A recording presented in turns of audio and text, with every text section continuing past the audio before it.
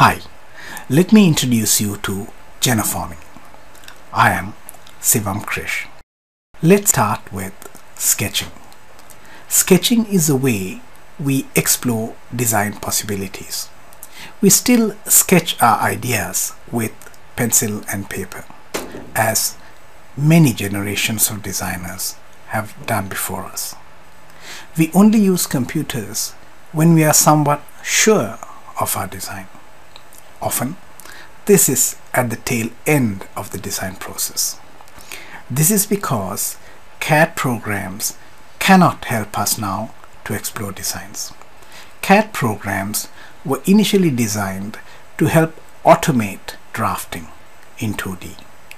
We have now moved on to 3D, but we still use computers as tools to represent what we design, not necessarily to design. But this is changing. The next stage is to get computers to generate designs.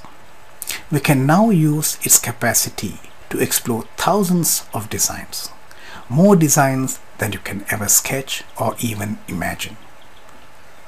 There's nothing new in this. This is how we were designed. Nature has been designing this way for billions of years. The entire spectrum of life on Earth was generated using a design process that Charles Darwin discovered 150 years ago. Thanks to later developments in genetics, nature's design process is less and less of a mystery now.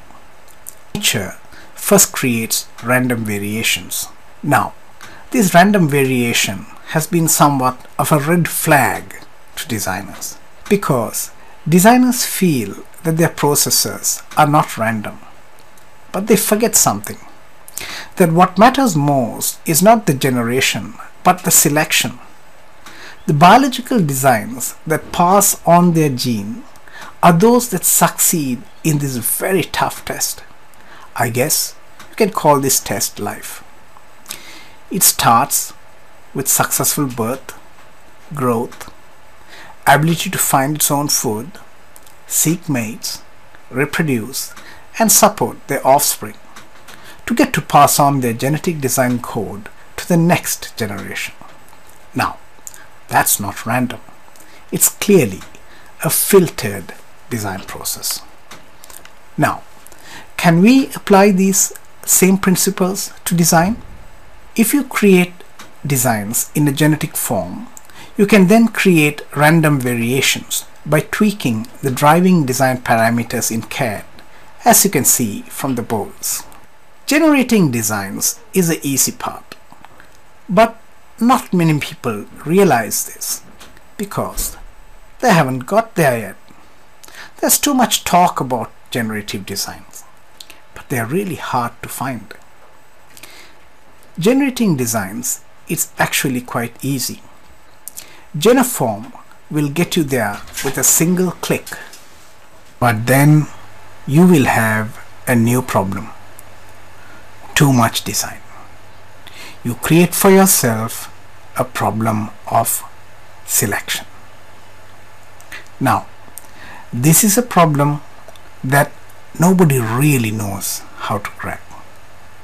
There are two approaches to this. One is optimization and the other is exploration. One is numerically driven and the other is design driven.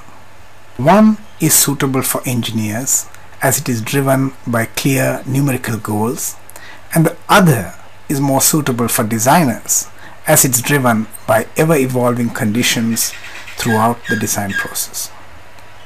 In one, the decisions are often simplistic and numerical and in the other they are much more complex and are made on visual representation. Engineers need models to analyze, whereas designers keep evolving the model and need to make decisions well before the design is settled. Optimization processes are automated and exploration processes are designer driven. Most importantly, engineering processes are highly structured and real-life design processes are chaotic. There are many methods of optimization.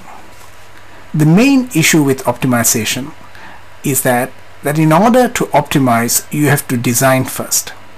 What happens if you don't have a design? What happens if a job is to design the design? But then there's an even more difficult problem. To optimize you have to have numerical criteria and explain it to a computer in a language that it can understand. Can you explain what is beautiful mathematically?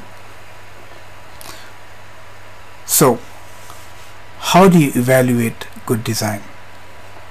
We assume that you know it when you see it. That design essentially is about emergence.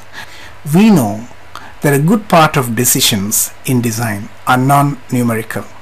But most importantly, we assume that you are the driver of all the design decisions. Genoform does not dictate or attempt to alter your work processes. You can jump in and out of it. Genoform is designed to support you by not hindering your creative design process. It requires you to do the least. Genoform does not demand that you rationalize your thought processes. It is not asking you to numerically define what is important because in early stage design you just cannot do that. Now let me explain how Genoform works. You first generate designs and then filter these designs through various criteria so you can pick amongst the best solutions. The selection is entirely yours and is not driven by a single numerical criteria. The final selection is done by a combination of filters. You don't have to set end goals. As you can see, Genoform works in a very simple way. There's no major secret behind Genoform. It's a very simple program that can generate random values between limits that you set. It's currently about 300 kilobytes. Perhaps it's a program that you can write. Perhaps it's like a virus that injects newly generated values into your CAD package. Your CAD package does most of the work. Genoform injects variations into it.